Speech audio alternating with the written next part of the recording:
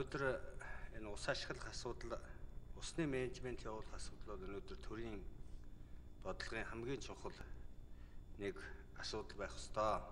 Бид нар өнөөдөр байгаль ертөнц байгалийн тэнцвэрт экологийн тэнцвэрт байдал алдагдах ийм аюур нүүлээд байгаа. За энэ говийн бүс хангаан бүсийг ашигласны услын ус ашигласны төлбөр бол ялгаатай ийм үн тарифын тогтолцоо бий болгосон байгаа. Энэ ямар учиртай бэ гэдэг талаар тайлбар сонсъё. За өнөөдөр уул уурхаад маш их хэмжээний ус ашигладаг. Энэ ус ашиглалтны улмаас бол байгаль орчин бохирдох, байгаль орчны экологийн тэнцвэр алдагдах ийм одоо аюул одоо нөөрлөд байгаа. Энэ ус ашиглалтыг байгаль орчин уул уурхаа ан талаар усны менежментийн талаар цаашд ямар бодлого явуулах вэ гэдэг нэг ийм асуудал байна. За газрын гүний усыг ашиглахыг 2030 оноос болиуд тийм бодлого барьж байгаа юм байна. Энийг 2025 он хүртэл наашлуулж болгохын боломж байгаа юу?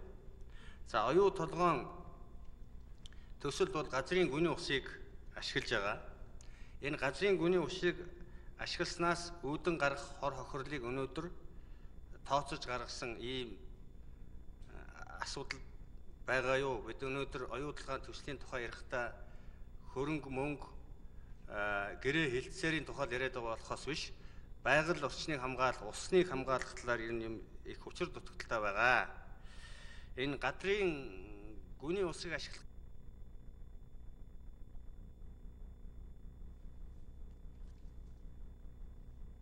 За Ачааг шүнд нэмэлт нэмээд. Хоёр гишүүн байгаа юм чи. За газрын гүний усыг одоо оюу толгой төвшөлд ашиглаж байгаа энэ асуудалд бол өнөөдөр тодорхой мэдээллүүдийг авж байгаа. Гэхдээ бол энэ гадрын газрын говийн газрын гүний усыг ашигласнаас үүдэн гарах хохирлын тухай өнөөдөр ямар одоо бодлого байна вэ? Энэ талаар үүдэн гарах э, хор хохирлыг тооцсон байгаль экологийн тэнцвэр алдагдах ийм эрсдэл үүссэн тухай нутгийн иргэд янз бүрийн байдлын ийм олон улсын байгууллагач гэсэн ийм мэдээллүүд байдгийн байна. Энэ талаар одоо байгаль орчны яам ямар бодлого цаашд барих вэ? Энэ гадрын усыг ашиглах талаар энэ оюутлагаа төсөл дээр ямар одоо бодлогыг цаашд явуулах вэ гэсэн ийм тодорхой асуудлууд хариу авъя.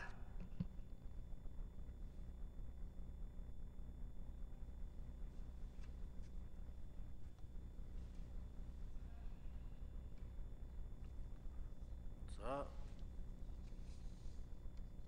92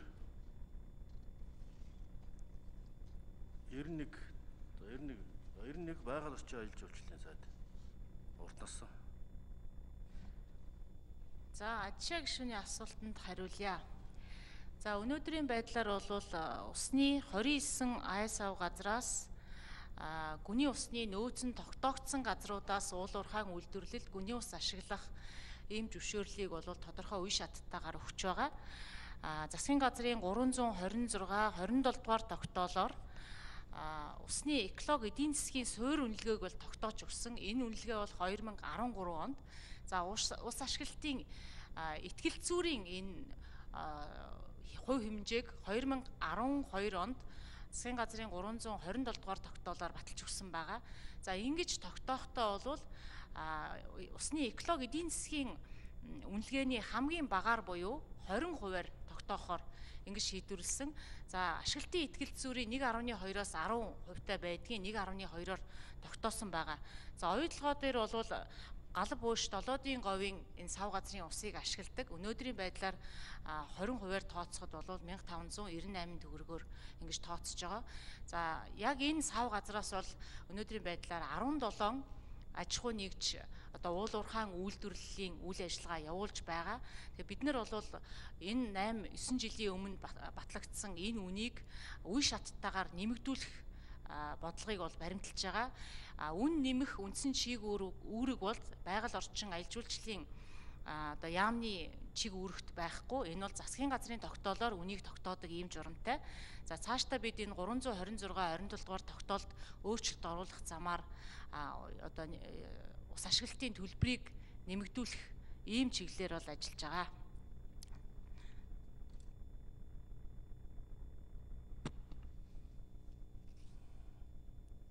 За одоо ирэх гүшин салдангийн одон туяа.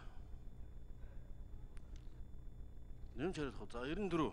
За энэ ажлын хэсгийг танилцуулчи лусан дорж эрдэнэ болгон байгаль орчин аялал жуулчлалын яамны ногоон хөгжлийн бодлого төлөлтийн газрын дарга. Дангаас өрөнгөө хэрлэн чимэг байгаль орчин аялал жуулчлалын яамны хуулийн хэлцээний дарга. Ган болдын инх мөнх тус яамны байгаль орчны үнэлгээ аудитын хэлцээний дарга. Шарын мегмар усны газрын дарга. За 94 эрдэнэ болгон лусанд орж эрдэнэ болгон хариулах. Мегмар дараа хариулах юм. За баярлалаа. Ачаа гişүний асуултанд нэмэлт хариулт өгөө. Байгаль орчин аялал жуулчлалын яам ногоон хүчний бодлого төлөвлөлтийн газрын дарга эрдэнэлгэн.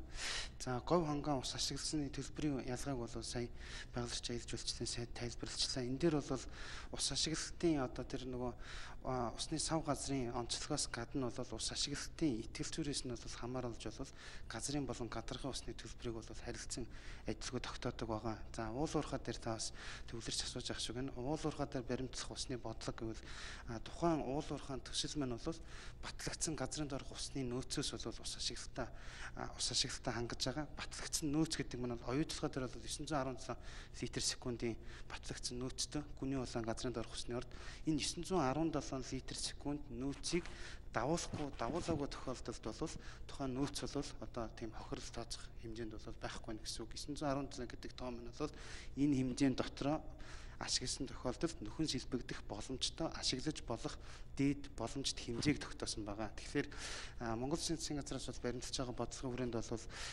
гадаргын ус ашиглалтыг бол нэмэгдүүлэх бас концепцийн томоохон өөрчлөлтүүдийг бол мөрийн хөтөлбөр тусгаад бас хэрэгжилт бол ахицтай явж байгаа. Орхон өнгө төсөл байна, хэрсэн тоон төсөл байна. За энэ дээр бол нэмээд бол өнөөдрийн хэмжээнд бол ус ашиглалтыг зохицуулж байгаа эрх зүйн орчинд нь усыг хэрхэн зүү зохистой хэмнэлттэй шин дэвшилтэд техник технологиг ашиглаж одоо ашигла хэрэглэж ашиглах юм бэ гэдэг бол эдийн засгийн хөшөөрөөр нь урамшуулж байгаа гэсэн үг. Нэгэсэндээ бол шатлан үүсгэх хэлбэрээр бол засгийн газар бол бас усны ашиглалтын үнийг бол нэмэгдүүлдэг энэ эрх зүйн орчныг бол бүрдүүлсэн байгаа. Энэ юу гэж юм гэхээр бол тухайн батлагдсан нөөцөөс давуулан ашигласан тохиолдолд бол ус ашиглалтыг бол 50 хүрт нэмэр бол 50 хүрт цаваар бол ус ашиглалтын төлбөрийг бол нэмэгдүүлж байгаа. Тэгэхээр энэ мань бол мэдээж нэг усны нөөцийг бол зохистой хэрэглэх буюу ашиглах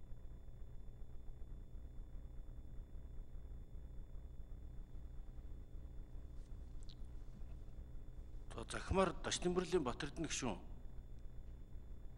асуулт асуухаар ирсэн байна. За одоо салдангийн одон